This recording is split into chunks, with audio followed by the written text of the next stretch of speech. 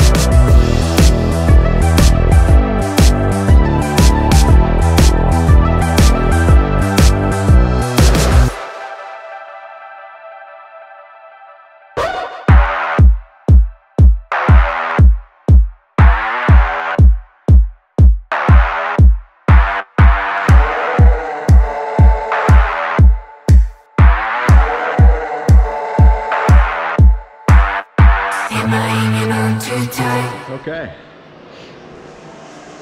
Make sure I don't have any boogers. Been grinding and stuff and get you some pretty gnarly boogies. Okay, so let's see. I'm kind of moving around. Um, got the front end done. I just finished burning this in and I welded these up, reinforced those a little bit. So that's all done. So the next thing I'm going to do today is uh, get the steering going. Um, took the weekend off. Uh, uh, went down to Rage at the River and checked that out. Uh, we've never been to a SNORE event before, so um, it was highly recommended that we go check out the Rage at the River because it's a good event, and uh, we had a blast. Uh, yeah, super fun. Can't wait to uh, race uh, that event and uh, many other SNORE events. So um, that's about it. I just got back in this morning. It was super cold last night. Got down to like 24 degrees last night. So um, I turned the heater on out here and uh, got out here about nine o'clock and let things warm up a little bit. So back at it. I'm gonna uh, get the steering swing set welded together and get placement of it, and then figure out where to put the uh, the uh, power steering box. So that's on today's agenda. So yeah, let's get to it.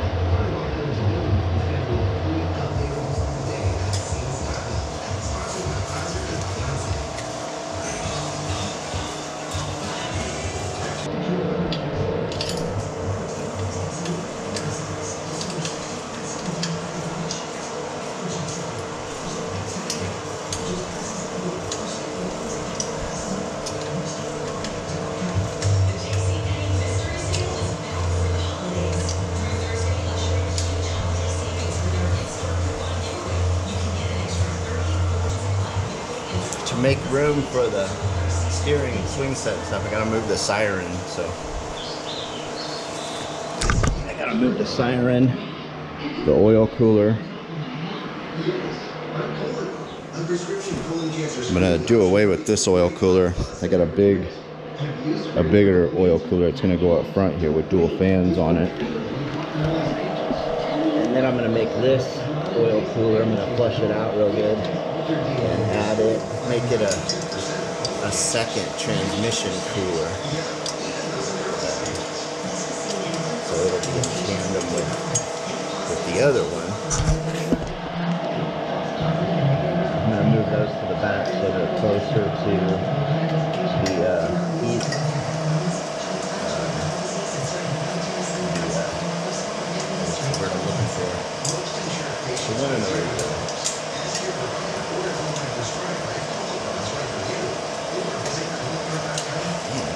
for them.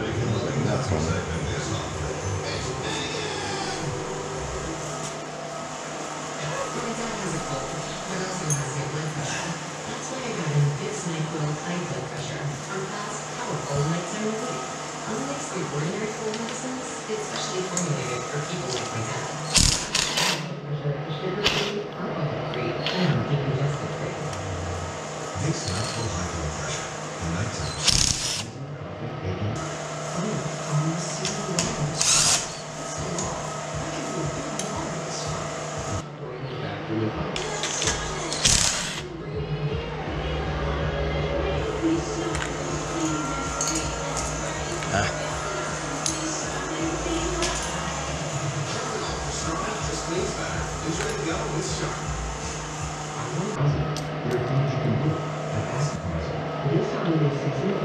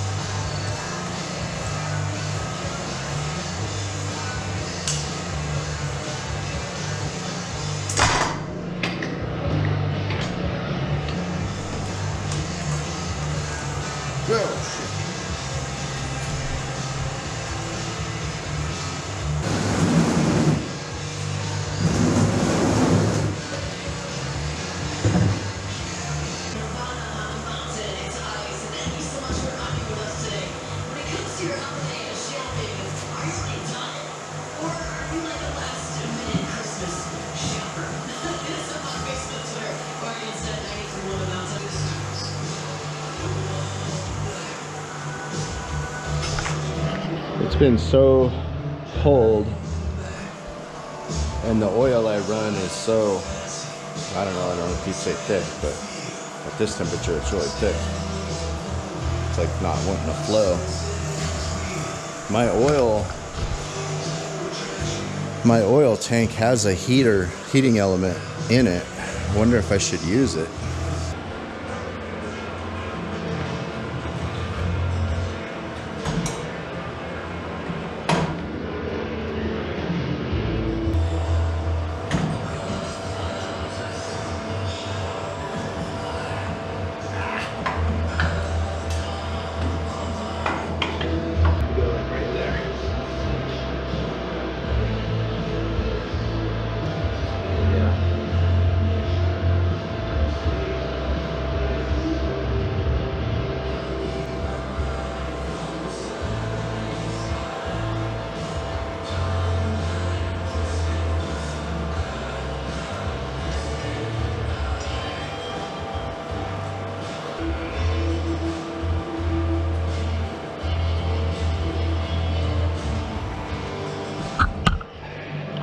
I got that gearbox from another uh, racer.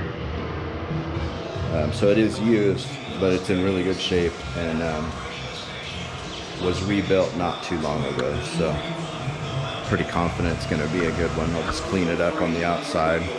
But yeah, it's going to go really good right there. So I need to get something to hold it in there and then I'll weld together the swing set and then get it mocked up in there. So the alignment is correct. That thing's heavy and I need something to hold it up.